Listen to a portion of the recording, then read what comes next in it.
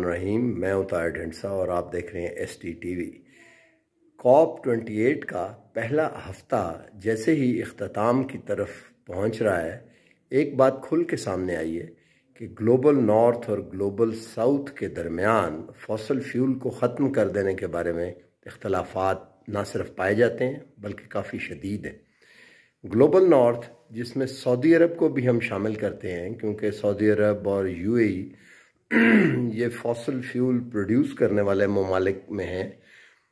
Saudi अरब ने तो इस हद तक कहा है कि अगर कोई इस किस्म की टाइट रिकमेंडेशन दी गई तो सऊदी अरब उसे वीटो करने का भी कंसिडर कर सकता है।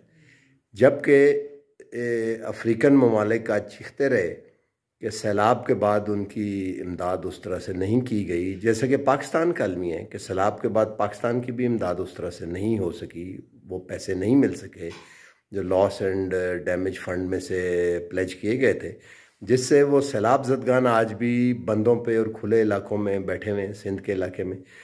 तो ये वो चीज़ है जिसकी वजह से टम्परेचर काफ़ी हाई महसूस होता है। आखिर पे अगला हफ़्ता जो है, अब इसी पे निगोसिएशंस के बारे में होगा। एक बात और सामने आई कि वो टेक्नोलॉजी भी अभी पूरी तरह राइप नहीं है। या उस टेक्नोलॉजी को फाइनेंस करने का क्लाइमेट फाइनेंस का वो मैकेनिज़्म पूरी तरह राइप नहीं है। ग्लोबल फाइनेंशियल सिस्टम में उस तरह से एम्बेड नहीं है, जिसे इस्तेमाल करते हुए इस ट्रांजिशन को अमल में लाया जा सके। इसकी क्या तफसीलात हैं? ये जानने के लिए एक बार फिर हमने रजू किया है डॉक्टर आबिद क्यूम सलेरी से executive director S T P I जो वहाँ मौजूद हैं। वो आपको कदर तफसील से बताएँगे कि आज क्या हुआ और अगले हफ़्ते में क्या मुतव है। So over to doctor Suleri आज कप 28 का पहला हफ़्ता जो है वो मुकम्मल हो गया और पहले हफ़्ते में जो ब्रॉडर टेक्स्ट है उस पर सारी तवज्जो होती है और आठ तारीख से जो अगला हफ़्ता शुरू हो रहा होगा उसमें फिर मुख्तलिफ़ ममालिक जो हैं वो अपने अपने नुक़ नज़र जो है उस पर फर्दर बहस कर रहे होंगे। दो साल पहले जो बात हुई थी कॉप 26 में फ़सल फ्यूल जो है उसके फ़ेज़ डाउन पे आज दो साल के बाद भी वही चीज़ जो है वो इस वक्त बोन ऑफ़ कंटेंशन बनी हुई है। क्या फॉसल फ्यूल जो है उसको मुकम्मल तौर पर ख़त्म किया जा सकता है ऑर्डरली मैनर में? क्या ममालिक जो हैं वो वॉल्टरली उस पर रिड्यूस करने की पे कोशिश करे? या इस पर कोई बात ना की जाए? तो तीन जो है, ये इस पर व्यू पॉइंट हैं। सऊदी अरेबिया जो है, उसने categorically fossil fuel phase out के मतलब किसी किस्म की लैंग्वेज जो है उसको वीटो करने का ऐलान किया है। दूसरी तरफ़ जो कार्बन कैप्चर और सिक्वेस्ट्रेशन के बारे में बात हो रही थी ये भी अब पता चल रहा है कि वो एक उसको फाइनेंस करना और उसको कमर्शियली फिजेबल बनाना वो बजाते खुद एक बहुत मुश्किल काम है। तीसरी तरफ़ अगर हम देखते हैं तो ग्लोबल स्टॉक टेकिंग की रिपोर्ट हो या कार्बन इमिशन गैप हो या वर्ल्ड मेट्रोलॉजिकल ऑर्गेनाइजेशन ने जो अपनी फाइंडिंग्स दी हैं। इस वक्त तमाम जो रिपोर्ट पिछले एक साल में जो कि कॉप ट्वेंटी एट में भी कुछ रिलीज़ हुई हैं। उन सब की अगर एक पंच लाइन एक समरी देना चाहें तो वो ये है कि दर्जा हरारत जो है वो बढ़ता चला जा रहा है। ट्वेंटी ट्वेंटी थ्री जो है, ये बीस सौ सोलह के बाद ये हॉटेस्ट ईयर होगा, ये 2016 वाला रिकॉर्ड भी तोड़ देगा। तो ये इस वक्त हॉटेस्ट ईयर बन जाएगा।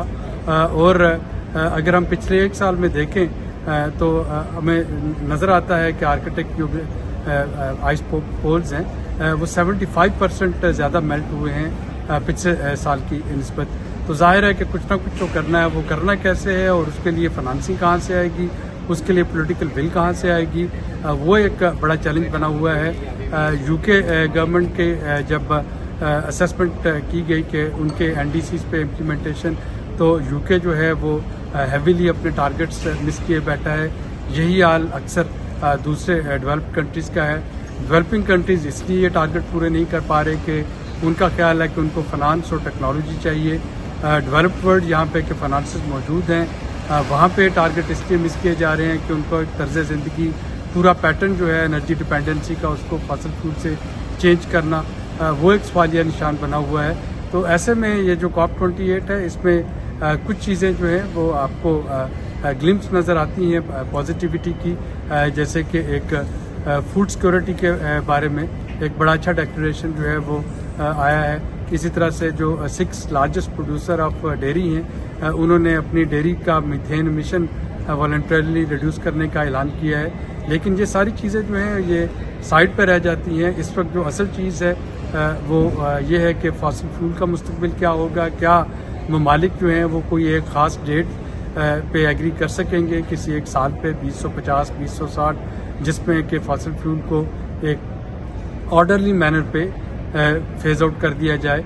और दूसरा ये है कि क्लाइमेट फाइनेंसिंग जो है, वो कैसे आएगी? और सोमालिया के जो आज प्रेसिडेंट की स्पीच थी सलाब के बाद उनका शिकवा था कि उनको क्लाइमेट फाइनेंसिंग नहीं मिली। वो वही एको कर रही थी जो कि पाकिस्तान के साथ 2022 में हुआ था। तो country after country they are being vulnerable to the climate change और वो जो क्लाइमेट फाइनेंसिंग जिसका के वादा कई दहाइयों से किया चला जा रहा है अभी तक वो कहीं पे नज़र नहीं आ रही, ना उसके कोई हमें मोडेलिटीज़ जो हैं, वो फाइनल होती हुई नज़र आ रही हैं। और ये सारा कुछ अब करने के लिए एक हफ़्ते का टाइम रह गया है। अब देखना ये होगा कि 12 दिसंबर या जैसा कि कॉप की हिस्ट्री है, एक आध दिन ये एक्स्ट्रा चले जाते हैं नेगोशिएशन कि किस तरह का एक ड्राफ्ट आएगा, जिस पे कि 200 के करीब जो दो सौ ममालिक के मंदोबीन हैं वो अपना कंसेंसस दे रहे हैं। शुक्रिया।